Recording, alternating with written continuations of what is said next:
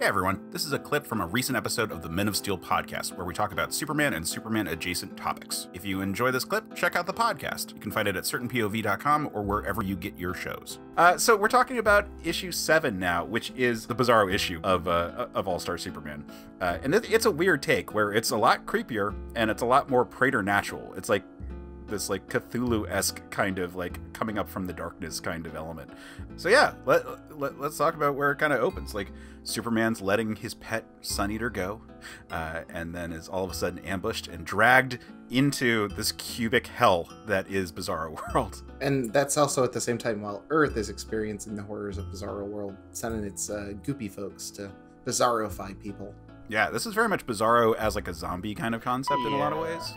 Very much so that was new. I was not expecting that. Because once again, this is my first. It was my first time reading that, and so like in the movie, you don't really they don't really touch on this at all.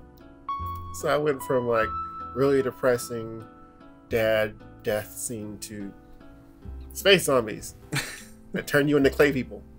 it's a tale as old as time. Yeah, and I was like, this took a turn. I actually, when when I interviewed uh, Dwayne McDuffie about the the film uh, adaptation, I did bring up the lack of Bizarro, and and he said, I mean, and there were going to be lack of of certain things because for whatever reason, someone decided a while ago that the animated movies are going to top out at 70 minutes usually.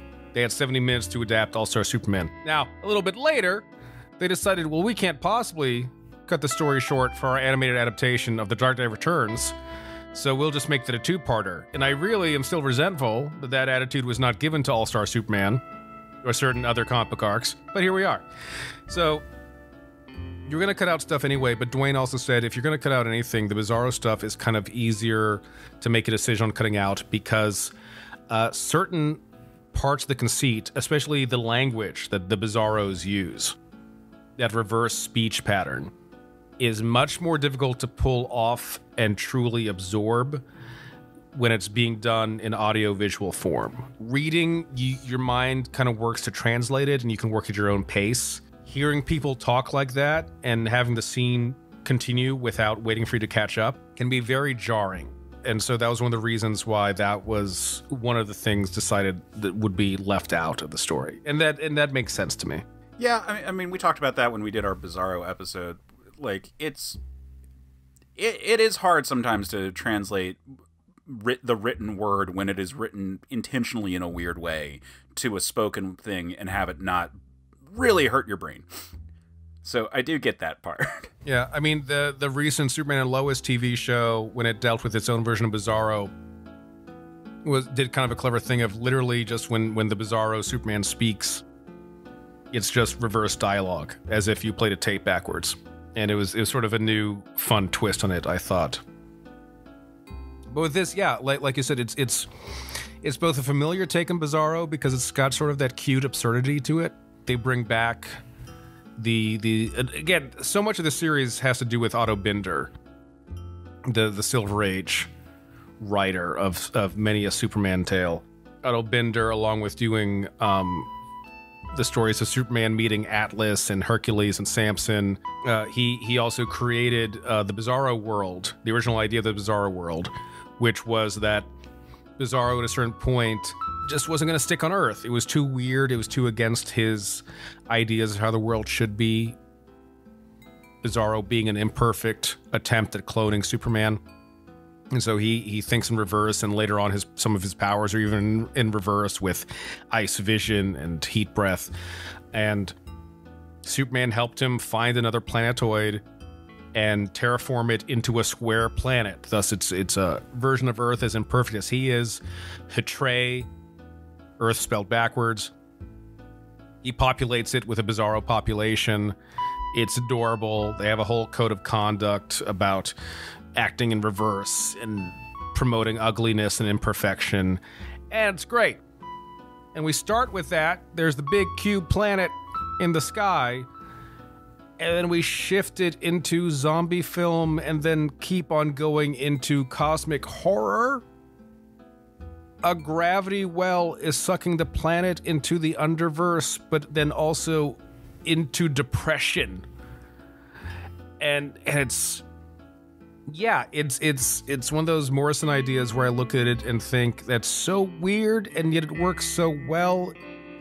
It seems like that was always how it was meant to be. It seems obvious in retrospect that a bizarre world would exist in a dimension of gravity, heavy currents, and emotional depression. Yeah, and this like predatory nature to the planet. Like it's a cube version of Earth because it's trying to imitate Earth to make us not notice that it's a threat until it's too late. Like that kind of element of it all is like so creepy and weird, and it, it feels so Morrisonian in terms of like the the way they present ideas of like, oh yeah, this is a parasitic. Mm, idea. This is a meme that's going to kill you all. This is a world from another dimension that is actively stalking our own and like imitating it and sucking its life out. It, it is very much a hellish presentation, right? It is not a whimsical presentation. And in fact, the this is another big strength of Jamie Grant as the colorist here.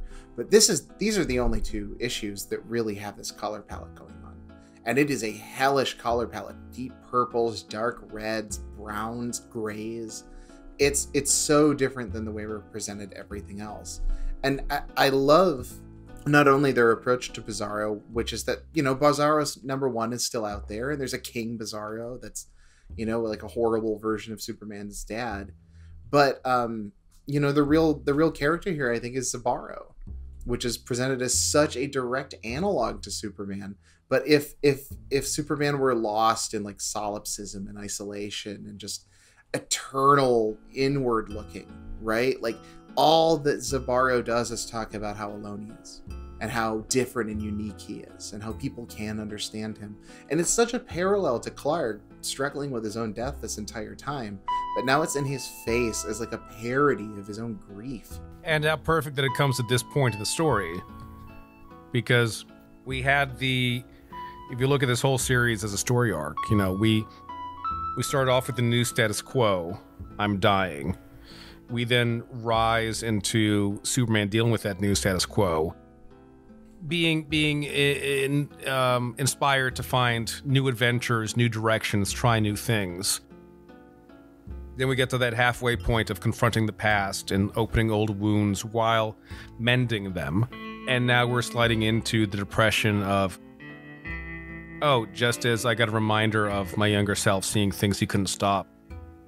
There are things that can bring me down in in a variety of levels. And we we go into our journey into the underworld uh, that we'll have to rise out of again later. And again, it can only be accomplished with help. One of the big themes of of this whole storyline.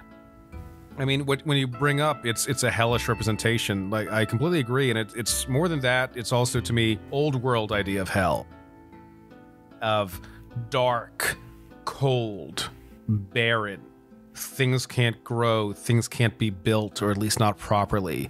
It's that old idea of hell and, and a Hades underworld being more akin to desolate caverns than some place where you're roasted and there's light everywhere. Yeah, a place of shadows. You know, like the the Greek idea that it's your shade is your the spirit that continues into the afterlife. Um, and and bringing up Hades though, I think is a good time. We didn't really talk about this last time. That the, this idea of twelve labors of Superman in this all, and there there are certainly strong parallels here to Hercules' descent into and pulling Cerberus out. Oh, absolutely. I mean, maybe it's not one to one, but it's certainly a trip into the underworld is very much like this mythic adventure that a lot of heroes, like a lot of epic heroes, really do.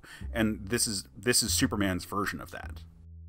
Remember, if you like the clip after you're done liking and subscribing, check out certainpov.com where you can find more episodes of the show as well as a ton of other great shows.